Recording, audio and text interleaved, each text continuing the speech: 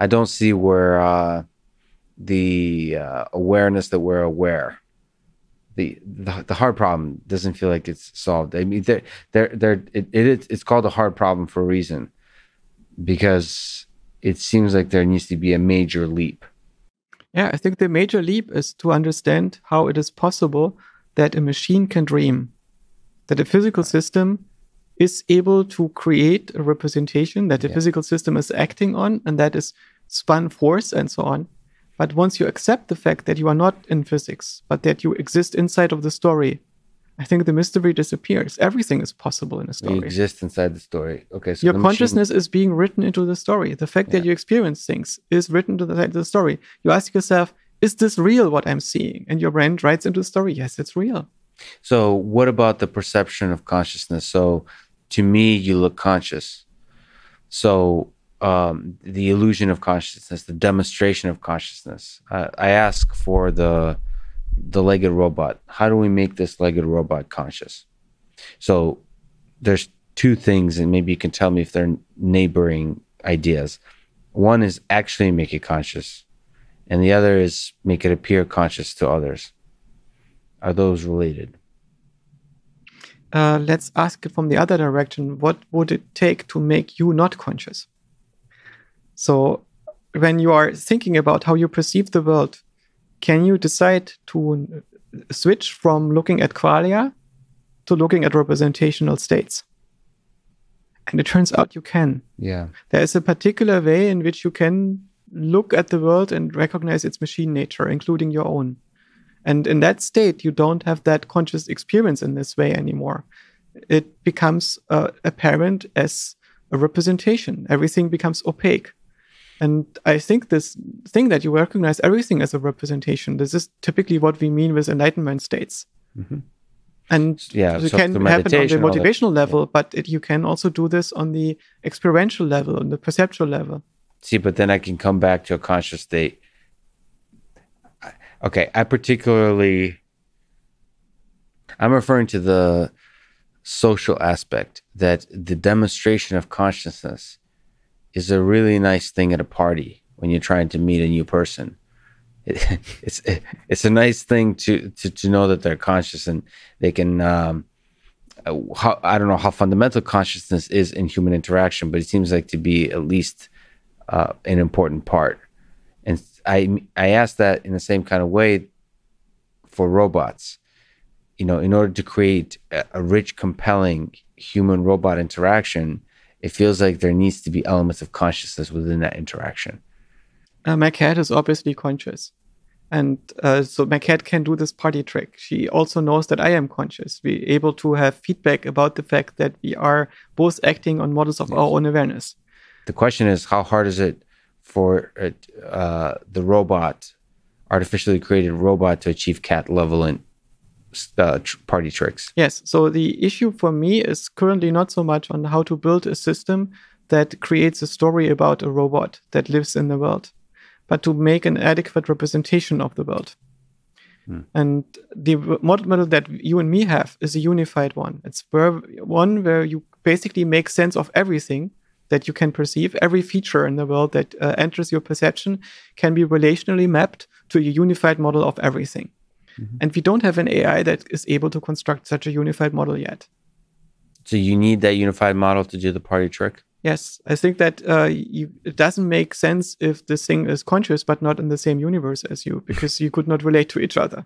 So, what's the process, would you say, of engineering consciousness in the machine? Like, uh, what are the ideas here?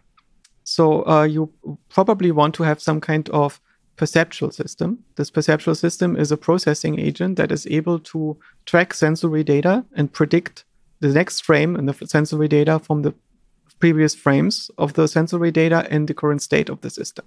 So the current state of the system is in perception instrumental to predicting what happens next. Mm-hmm.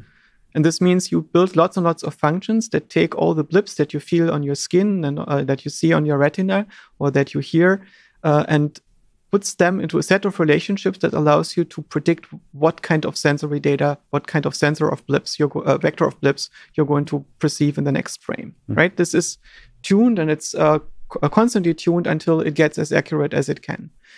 uh, you build a very accurate prediction mechanism that is step one of the perception. So first you predict, then you perceive and see the error yes. in your prediction. And you have to do two things to make that happen. One is you have to build a network of relationships that are constraints that uh, take all the variance in the world, put each of the uh, variances into a vari- variable mm-hmm. that is uh, connected with relationships to other variables.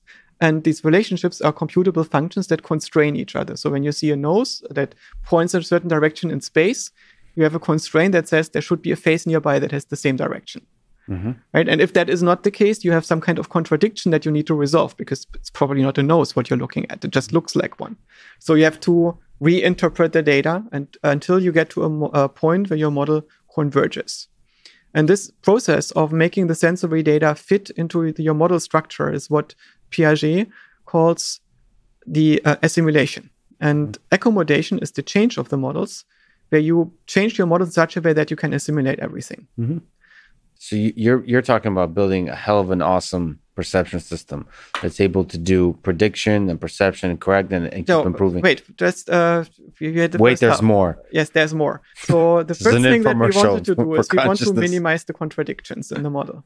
Yes. And of course, it's very easy to make a model in which you minimize the contradictions just by allowing that it can be in many, many possible states right? So if you increase the degrees of freedom, you will have fewer contradictions. Mm-hmm. But you also want to reduce the degrees of freedom because degrees of freedom mean uncertainty.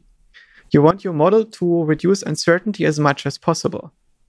But reducing uncertainty is expensive. So you have to have a trade off between minimizing contradictions and reducing uncertainty. Mm-hmm. And you have only a finite amount of compute and uh, experimental time and effort available to reduce uncertainty in the world. So you need to assign value to what you observe. Mm-hmm. So you need some kind of motivational system that is estimating what you should be looking at and what you should be thinking about it, how you should be applying your resources to model what that is. Mm-hmm. Right. So you need to have something like uh, convergence links that tell you how to get from the present state of the model to the next one. You need to have these compatibility links that tell you which uh, constraints exist and which constraint violations exist. And uh, you need to have some kind of motivational system that tells you what to pay attention to. So now we have a second agent next to the perceptual agent. We have a motivational agent. This is a cybernetic system that is modeling what the system needs, what's important for the system, and that interacts with the perceptual system to maximize the expected reward. And you're saying the motivational system is some kind of like what is it a higher level narrative over some lower level? no it's just your brainstem stuff the limbic system stuff that tells you okay now you should get something to eat because i've just oh, measured your blood sugar so you mean down. like motivational system like the lower level stuff yes. like hungry? Yes but there's basically a physiological needs and some cognitive needs and some social needs and they all interact and they're all implemented at different parts in your uh, nervous system as the motivational system but they're basically cybernetic feedback loops. It's not that complicated. It's just a lot of code and uh, so yeah, now have a motivational agent that makes your robot go for the ball or that makes your worm uh, go to eat uh, food and uh, so on. And uh, you have the perceptual system that lets it predict its environment so it's able to solve that control problem to some degree. And now what we learned is that it's very hard to build a machine learning system that looks at all the data simultaneously to see what kind of relationships could exist between them. Mm-hmm. So you need to selectively model the world. You need to figure out where can I make the biggest difference if I would put the following things together? Mm-hmm. Sometimes you find a gradient for that, right? When you have a gradient, you don't need to remember where you came from. You just follow the gradient until it doesn't get any better. Mm-hmm. But if you have a world where the problems are discontinuous and the search spaces are discontinuous, you need to retain memory of what you explored and you need to construct a plan of what to explore next. And this thing that means that you have next to this perceptual construction system, and the motivational cybernetics an agent that is paying attention to what it should select at any given moment to maximize reward. And this scanning system, this attention agent, is required for consciousness, and consciousness it's, it's, is its control model. So it's the indexed memories that this thing retains when it manipulates the perceptual representations to uh, maximize the value and minimize the conflicts in it to increase coherence. So the purpose of consciousness is to create coherence in your perceptual representations, remove conflicts, predict the future, construct counterfactual representations so you can coordinate your actions and so on. And in order to do this, it needs to form memories. These memories are partial binding states of the working memory contents that are being revisited later on to backtrack, to undo certain states, to look for alternatives. And these indexed memories that you can recall, that is what you perceive as your stream of consciousness. And being able to recall these memories, this is what makes you conscious. If you could not remember what you paid attention to, you wouldn't be conscious. Hmm. so consciousness is the index in the memory database. Okay.